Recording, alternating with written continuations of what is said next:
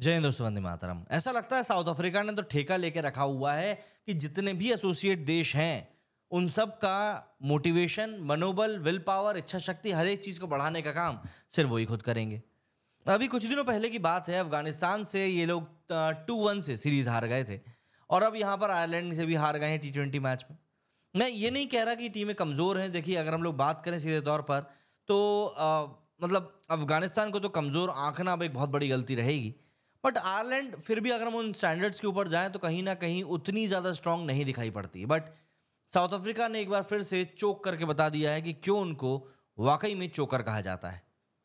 मतलब एक टीम जिसमें कि महारथी भरे हुए हैं उस टीम का ऐसा हाल दरअसल साउथ अफ्रीका और आयरलैंड के बीच में टी सीरीज़ का दूसरा आ, मुकाबला उनतीस सितंबर को अबूधाबी के शेख जायद स्टेडियम में खेला गया।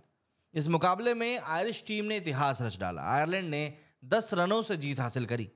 साउथ अफ्रीका के खिलाफ टी ट्वेंटी इंटरनेशनल में आयरलैंड की ये पहली जीत रही। मुकाबले में साउथ अफ्रीकी टीम को जीत के लिए एक सौ छियानवे रनों को लिए टारगेट मिला था, लेकिन वो नौ विकेट पर एक सौ पचासी मतलब 185 रन ही बना सकी और 10 रनों से मैच हार गई। इस जीत के साथ ही आयरलैंड ने दो मैचों की टी सीरीज़ को एक एक से बराबर कर लिया है। साउथ अफ्रीका ने पहला टी मैच आठ विकेट से जीता था। आयरलैंड की जीत के हीरो की अगर हम लोग बात करें तो वो रहे रॉस अडायर और मार्क अडायर। बड़े भाई रॉस ने जहाँ शतकीय पारी खेली तो वहीं छोटे भाई मार्क ने तूफानी बॉलिंग करते हुए चार विकेट निकाले।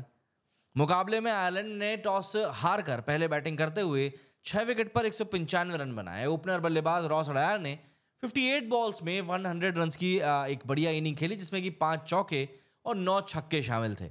वहीं कप्तान पॉल स्टर्लिंग ने इकतीस बॉलों पर बावन रनों की पारी खेली, जिसमें करीब सात चौके और एक छक्का शामिल रहा।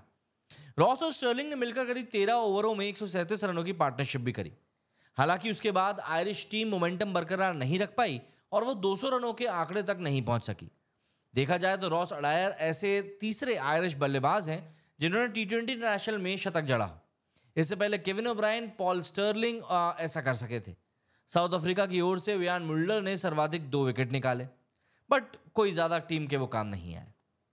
टारगेट का पीछा करते हुए साउथ अफ्रीका टीम की जो शुरुआत थी, वो अच्छी रही।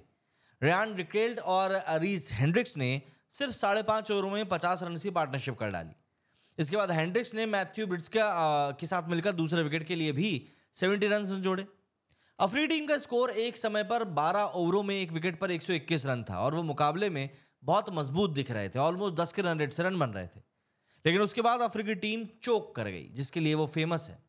और लगातार उनके विकेट्स गिरते चले गए। साउथ अफ्रीका की ओर से रिजा हैंड्रिक्स और ब्रिट्सके ने इक्यावन इक्यावन रन बनाए। वहीं रिकल्टन के बल्ले से करीब 36 रन निकले। कप्तान एडिन माकरम ने आठ और टिस्टन स्टब्स ने बल्ले से निराश किया। तेज बॉलर मार्क अडाया ने चार ओवरों में इकतीस रन देकर चार विकेट लिए। वहीं ग्राहम ह्यूम को तीन विकेट मिल पाए लेकिन अब यहाँ पर आप देखिए ना कि साउथ अफ्रीका की टीम को अगर आप इस समय देखें तो कहीं से कहीं तक भी कोई वीक टीम नहीं लगती। लेकिन जैसे कि मैंने आपको बताया, पहले अफ़गानिस्तान और अब आयरलैंड ने जिस तरीके से साउथ अफ्रीका को हराया है, या तो साउथ अफ्रीका की कोई टैक्टिक्स फेल हो रही हैं, या फिर टीमों को वाकई में अब साउथ अफ्रीका को चोक करने का तरीका समझ में आ चुका है। कमेंट करके ज़रूर बताइएगा कि आपका इस बारे में क्या कुछ कहना है। मेरे इस वीडियो फ़िलहाल इतना ही। जय हिंद, जय भारत।